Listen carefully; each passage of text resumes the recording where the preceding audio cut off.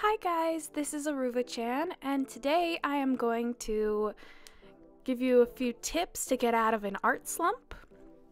So, I recently have been not hating my art, but I kind of have been unsatisfied with what I've been doing. And I really didn't know where to go and what to do.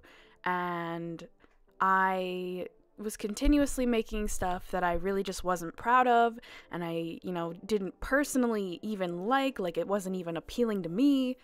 So I I was in I was in somewhat of a slump. And I still probably am, but I've taken steps to get out of this slump. So, one of the steps that I did was I drew lots and lots of different things, things that I've never drawn before. And I feel like that definitely it broadened kind of my idea spectrum. Like the thing I'm drawing right now, I've never drawn something quite like this. And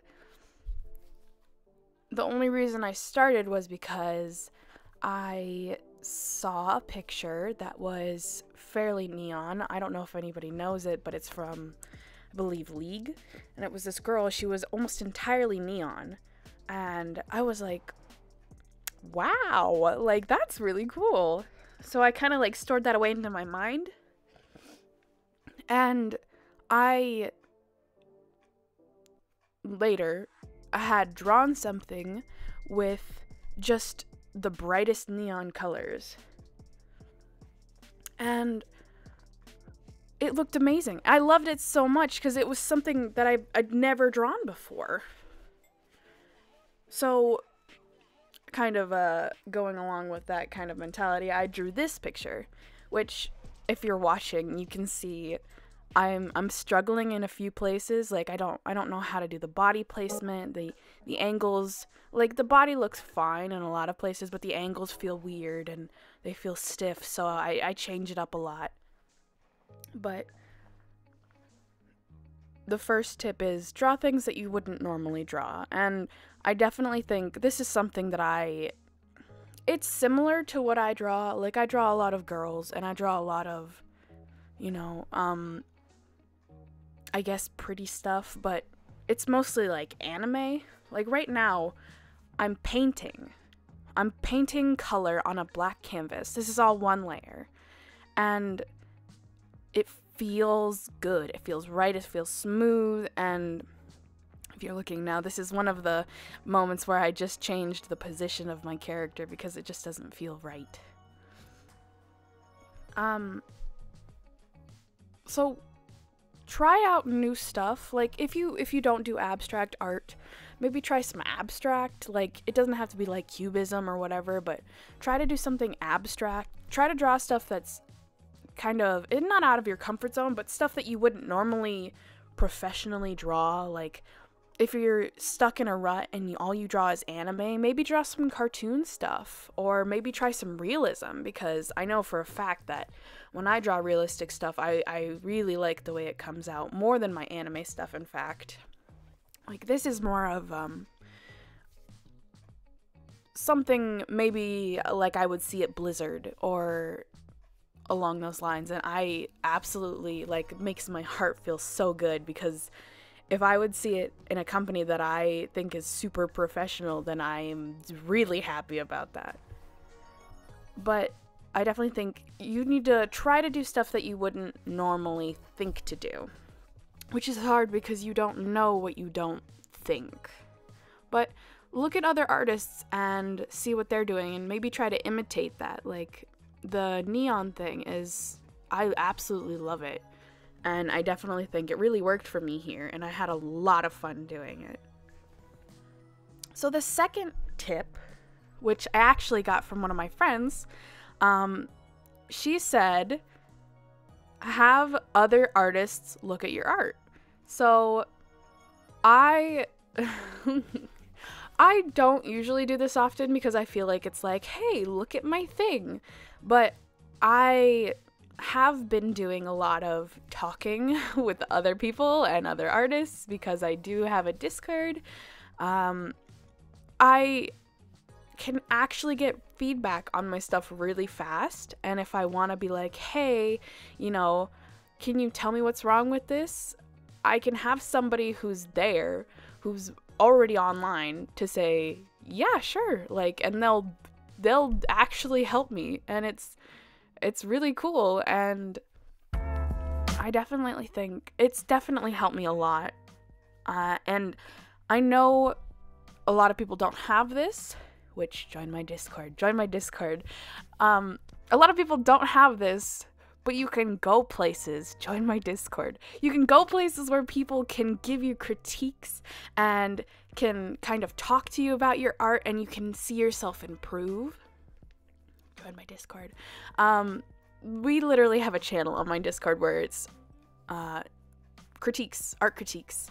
And, you know, every once in a while, uh, I'll give a critique and you guys can see what kind of stuff that you need to improve on and the stuff that you're doing really good. and, um I definitely think that kind of stuff really helps, especially when you're just beginning art. I know a lot of people have been doing art for like a year or so. Like that's pretty much just beginning for me.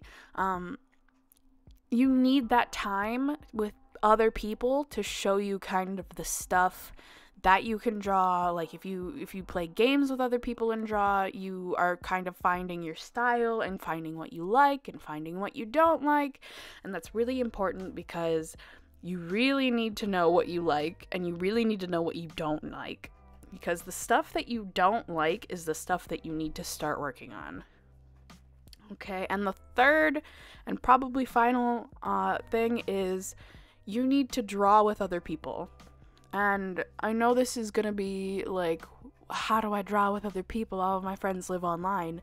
Uh, you need to either, I know this isn't available in all countries, but you need to download Drawpile and draw with people online, or go on to drawing hosting websites like iScribble or um, any of the various ones and just watch other people draw there. Like they'll they'll be drawing in real time so you can kind of observe, but you can also play games with them. Like when I was younger, I played a drawing game where you had a time limit and it really made me draw I, it made me draw quicker for one but it really made me use references for the other and i really got better at a lot of the stuff that i did because i was using those references and because i had to work so fast.